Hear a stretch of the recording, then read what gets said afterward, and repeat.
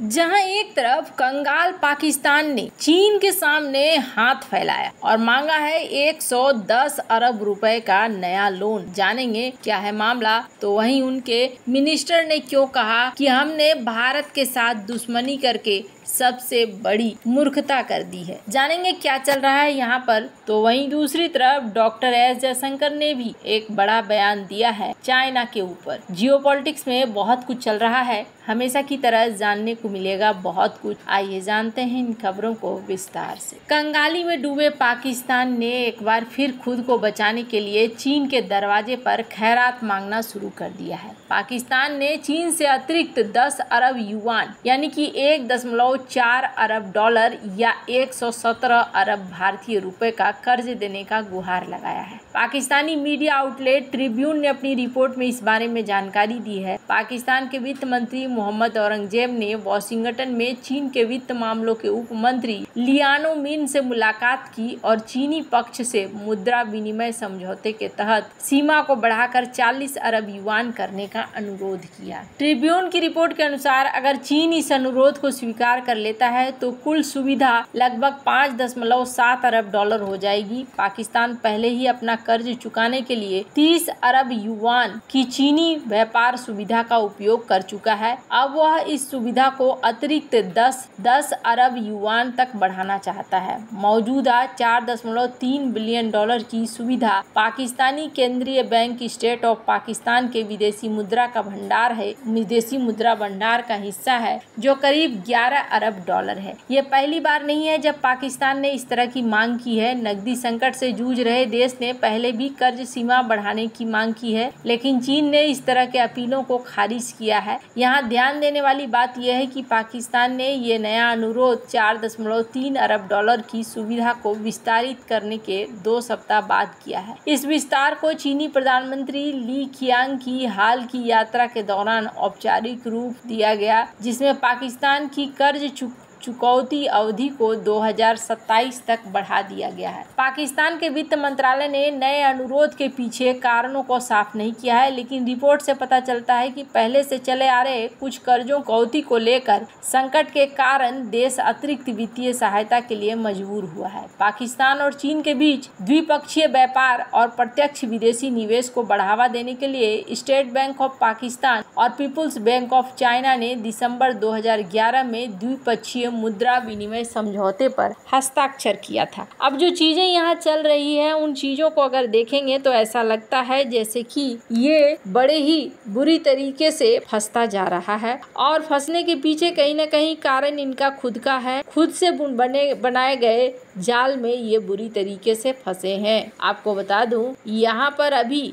उनके मिनिस्टर्स को कुछ बातें समझ में आ रही हैं और भारत के प्रति उनका बयान भी बदल रहा है। जैसे कि यहाँ पर इनके मिनिस्टर ने अब कहा है कि हमने एक मूर्खता कर दी है और कहने वाले कोई और नहीं बल्कि इनके व्यापार मंत्री हैं। जम्मू कश्मीर में आर्टिकल 370 को खत्म करने के बाद पाकिस्तान ने भारत संघ व्यापार को रोक दिया। पाकिस्तान के अम्बानी कहे जाने वाले मियाँ मासा से लेकर कई दिग्गज उद्योगपति तक भारत से व्यापार को फिर से शुरू करने की कई महीने से गुहार लगा रहे इसके बाद भी शहबाज सरकार अकड़ में फिर से शुरू करने, अकड़ में बैठी हुई है। और भारत से व्यापार को फिर से शुरू करने में अभी ये बहुत सारा समय दिखा रहे हैं। एस की बैठक में भारतीय विदेश मंत्री एस जयशंकर के हिस्सा लेने के बाद पाकिस्तान की अकड़ अब ढीली पड़ती दिख रही है। पाकिस्तान के वित्त मंत्री मोहम्मद औरंगज़ेब ने अमेरिका के वॉशिंगटन में रविवार को कहा कि पड़ोसियों के साथ व्यापार नहीं करना बेतुका है। उनसे क्षेत्रीय देशों, खासकर भारत के साथ व्यापार बढ़ाने को लेकर सवाल पूछा गया। रविवार को आए भारत सरकार के ताज़ा आंकड़ों के मुताबिक पिछले पाँच महीने में भारत का पाकिस्तान से आयात शून्य हो गया है। वहीं भारत ने पाकिस्तान को तेईस करोड़ पचास लाख डॉलर का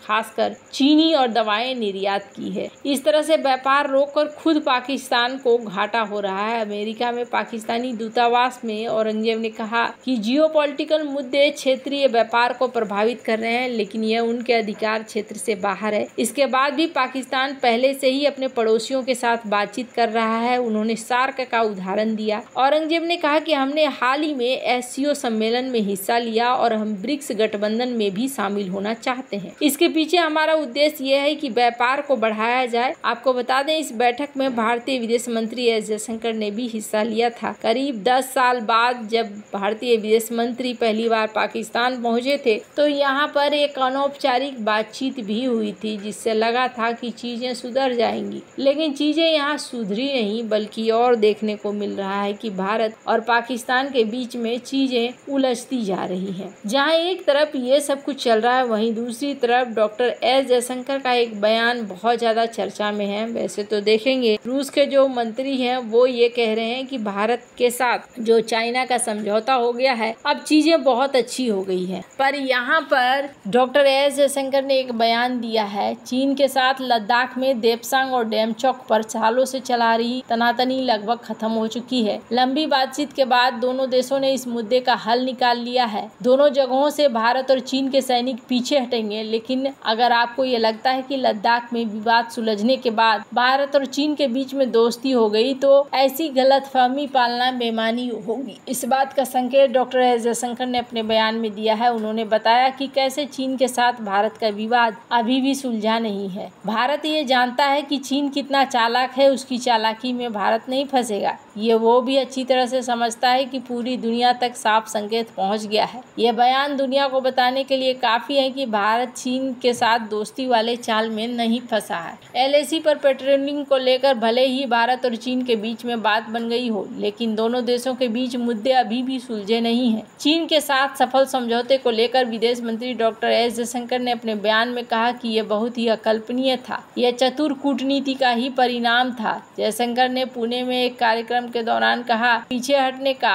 यानी नए कदमों को उठाने का ये समझौता था। दोनों ने तय किया कि देवसांग और डेमचौक पर गश्ती होगी। इससे हमें अगले कदम पर विचार करने का मौका मिलेगा। ऐसा ही नहीं, सब कुछ हल हो गया है, लेकिन पीछे हटना जो पहला चरण है, हम उस पर कायम हो रहे हैं। आपको बता दूँ, संकेत साफ़ साफ़ है कि भारत और चीन के बीच भले ही एलएसी पर पेट्रोलिंग को लेकर विवाद सुलझ गया हो, लेकिन दोनों देशों के बीच जो लंबे समय से आ रहे विवाद हैं, वो भी बरकरार है। चीन की चालाकी में भारत को अब फंसना नहीं है। रूस के कजान में चीनी राष्ट्रपति सी जिनपिंग के साथ हाल ही में पीएम मोदी ने मुलाकात की। ये तय हुआ कि दोनों दोनों देशों के विदेश मंत्री और सुरक्षा सलाहकार मिलेंगे, देखेंगे कि आगे कैसे बढ़ना है। जयशंकर ने कहा कि आज हम जिस मुकाम पर पहुँचे हैं जहाँ खड़े हैं, इसका कारण हमारी ओर से अपनी बात पर अड़े रहना है, अपनी बात के लिए दृढ़ विश्वास रखना है। सेना देश की रक्षा के लिए बहुत ही अकल्पनीय अशोचनीय स्थिति में भी मौजूद थी।